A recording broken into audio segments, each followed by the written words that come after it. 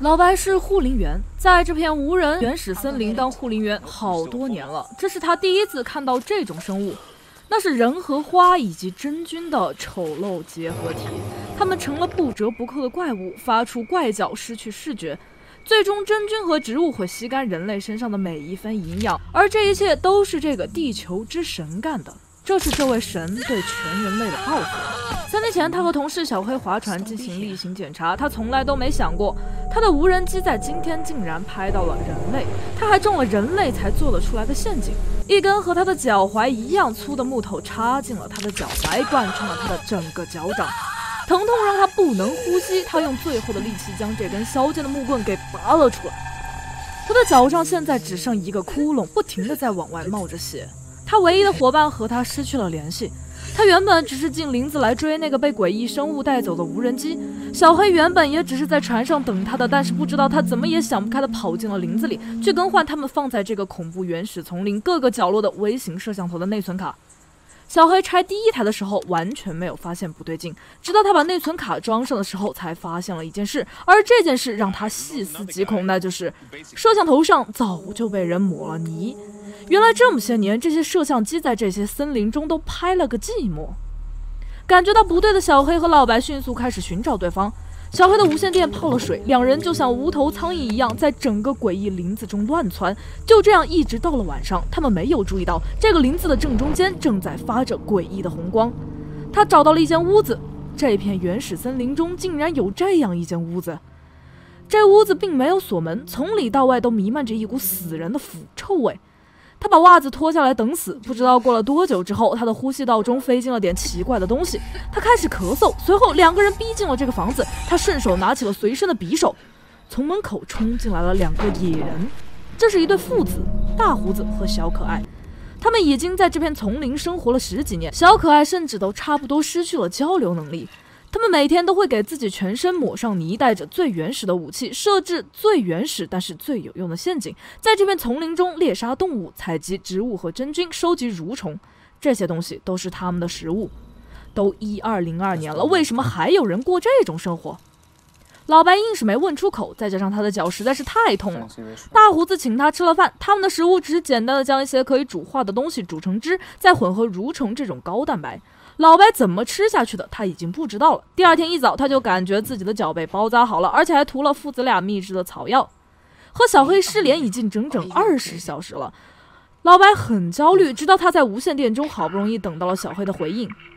啊啊，这是什么？我要死了！伙伴这样的回应让老白的心态彻底崩了。他不觉得自己现在还活着是什么好事，救了他的这对父子太过奇怪，而他唯一的同伴很有可能在这片恐怖的林子里遭到了攻击。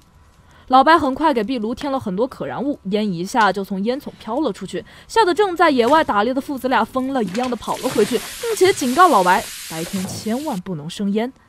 大胡子在这晚的闲聊中透露了一点点关于他们这对怪异父子的事情。他说他死去的老婆原来是生物学博士，至于他则是化学博士。本来他们是一家人搬到这个丛林里来住的，但是老婆后来发现得了骨癌，全身疼痛致死。为什么会有一家人搬到这种地方来？为什么会有父母宁愿让自己的儿子不受教育，变成一个不折不扣的野人？难道大胡子的老婆真的是得骨癌死的吗？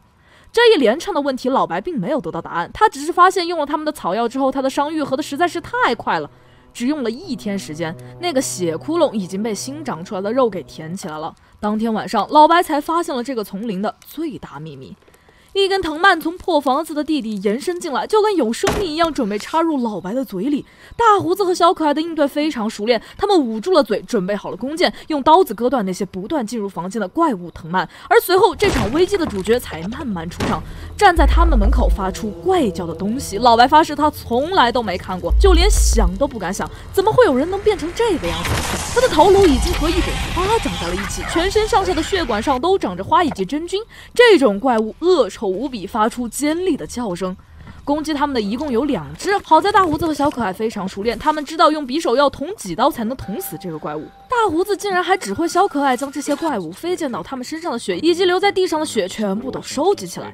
随后，大胡子终于娓娓道来：这就是在这个森林中失踪的人，他们被真菌感染了，所以变成了现在这个样子。人体成为了真菌的温床，真菌很快就占据了主导地位，反客为主。人类最终被这些真菌所控制，变成了只会吃动物腐肉和内脏的怪物。这些怪物统称为真菌人。他们死亡的时候，体内会产生很多孢子，这些孢子就会在空气中，以便寻找新的人类当宿主。所以这一连串的设定真的没抄最后生还者吗？也就是说，在这森林里待的时间越久，变成真菌人的可能性就越大。那么问题又来了，为什么大胡子还要坚持带着一个连话都说不清楚的儿子，坚守在这片恐怖的森林里，还会收集真菌人的血呢？老白虽然很想把小可爱带走，带他到真正的人类世界里去，接受人类的教育，融入真正人类的生活，但是这只是设想而已。就算大胡子再疯疯癫癫，也是人家儿子。现在他还是赶紧找到小黑，离开这片森林。小黑死的实在太惨了，他倒在一棵树下。这才第二天，他的全身上下已经种上了真菌苔藓和花，他的瞳孔也一片浑浊。这怪异又美丽的画面让老白难过到了极点，他只能眼睁睁看着还留有一点人类理智的小黑毫不犹豫地将一支弓箭插进了自己的喉咙里，直到贯穿他的后脖颈。老白哭得很厉害，然而他不知道的是，他的身体也已经悄然发生了改变，他的大腿上已经开始长出小花，他已经被感染了。到底是什么时候的事儿呢？难道是那天晚上他们被真菌人攻击的时候被感染的吗？还是更早，早在这对父子帮他治疗脚伤敷了那个怪异药草的时候就已经被感染了？这两个时间点有很大的区别。到底他的感染是意外，还是这对父子的故意为之？他们让他感染的原因又是什么？老白似乎明白了自己的命运，现在同伴也死了，而小可爱又那么可怜，他必须想办法把他从他的变态老爹身边带走。这天晚上是小可爱第一次跟他说话，而且聊到了他那死于骨癌的母亲。其实稍微联想一下，全身疼痛致死也不一定是骨癌，很有可能是全身长满了真菌。他死去的妈妈就住在森林里那棵发着红光的大树树干里。大胡子经常跑到那棵大树前面，将动物的碎肉埋在土里，真菌人的血液倒在土里，同时不断的祈祷。他坚信这棵树就是地球之神的化身。他早就想对愚蠢的人类宣战了。从三百年前，愚蠢渺小的人类自顾自地发动了工业革命就开始了。人类还以为他们能控制自然，觉得他们的发明、创造和科技可以让他们站在自然的头上。他们总是贪得无厌，向地球索取。地球已经有预示了，全球变暖，海平面上升，恐怖的自然灾害都在警醒人类不要再玩火了。然而人类却变本加厉，因为他们那些愚蠢的发明，他们变得更加懒惰，更加贪婪。每个国家都想变成最强大的国家，于是。发明出了核弹，人类总有一天会把自己置于死地，只是时间早晚的问题。这种愚蠢的群体到底有什么好值得同情的？大胡子的这番理论让老白以及我都目瞪口呆。虽然这种说法很赤裸，但是没什么不对的。而老白也猜得八九不离十了。这个原始森林中的这棵树，这个地球之神、大地之母，它的树干中在不断的生产着孢子。这些孢子会感染人类，会感染人类的食物，让人类最终变成植物和真菌的土壤，最终被这些智慧的生物彻底吞噬，在地球上消失。大胡子肯定是信仰这位地球之神，所以作为一个忠诚的教徒，他把自己得了癌症或者是根本没得癌症的老婆献祭给这位神，加快神产出真菌孢子的速度，又有何不可呢？然而老白万万没想到，大胡子在发现神生产孢子的发动机没有那么给力之后，他决定往这土壤中再添一大把燃料。于是这天早上，在大胡子的引诱下，小可爱被带到了地球之神那棵树的面前。好在老白猜到了大胡子的想法，飞快地赶往了那里。他不能让这个疯狂的父亲把自己儿子都献祭了，这个孩子还有大好前途。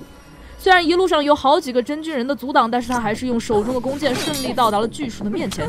他虽然成功阻止了大胡子的疯狂行径，由他被真菌人围攻，倒在他信仰的地球之神面前的土壤里，但是老白已经到了感染后期，他马上就要死了，命不久矣。小可爱见到他这个样子，相当焦急，但最终也只能眼睁睁看着真菌吞没了他的爱人。人体的肺还没有完全失去功用，老白还在不断的呼吸着，为身体里的这些真菌和植物提供着二氧化碳。很显然，这些神制造的真菌孢子进入人体之后，就能轻松改变人体的生理结构。大胡子说的一点也没错，人类还真是渺小啊。大概过了好几天时间，老白的人体才被这些植物和真菌吸收完毕，而小可爱也告别了这片诡异的森林，踏上了他本就应该走的路。他来到了城市，人类一手制造的现代都市。这里有霓虹灯，有吃不完的垃圾食品，而没人注意到，地球之神用来消灭人类的孢子早就无处不在了，人类的灭亡就在眼前了。在做解读之前，我想问个问题：为什么小可爱每天都在被大胡子喂真菌，而且也在森林中生活了这么多年，却没有被感染呢？后来我想了想，大概可以这样解释：因为神对自己的信徒还真的是会区别对待的。不过大胡子和小可爱也算是虔诚，他们摒弃了几乎所有的现代人类的生存方式，一直秉承原始人的生活方式，维护着地球的自然运转。虽然只是非常小的一部分，但是神还是能看到他们的诚意，所以他们不会被感染。又或者说，神只是为了让他们找到更多的祭品。才还不让他们感染，这也是有可能的。本片名为《盖亚》，盖亚在希腊神话中指的是大地女神，她孕育万物，却又可以让一切毁灭。神谱上是这样说的：在她的身上，我们既能看到创造，又能看到毁灭。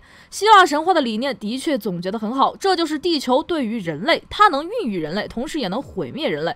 本片的主旨又是一个老生常谈的话题：人类的发展与自然。